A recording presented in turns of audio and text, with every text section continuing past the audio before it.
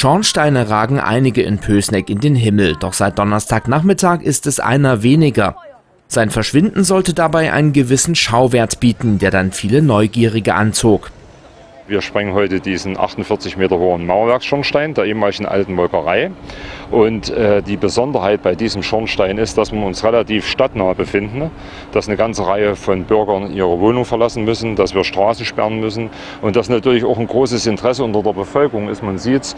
Und deshalb sind die Sicherungsmaßnahmen, dass niemand in den Gefährdungsbereich hinein kann, um sich selbst zu gefährden, das sind natürlich enorm die Aufwendungen. Ne? Abstimmen musste sich das Sprengteam auch mit der Deutschen Bahn, denn auf den Gleisen nebenan durfte ja während der Sprengung auch kein Zug unterwegs sein. Pünktlich um dreiviertel vier konnte Sprengmeister Günther Franke dann die Zündung einleiten.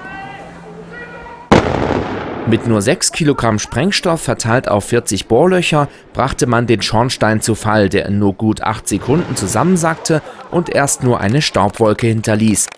Nachdem sich der Staub kurze Zeit später verzogen hatte, war anstelle des Schornsteins nur noch ein riesiger Schuttberg zu sehen.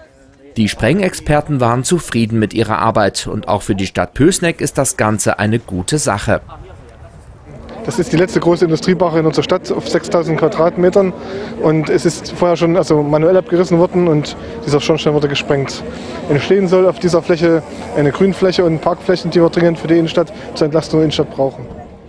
Bis die Reste der alten Molkerei verschwunden sind und das Areal neu genutzt werden kann, wird es aber wohl noch etwas dauern.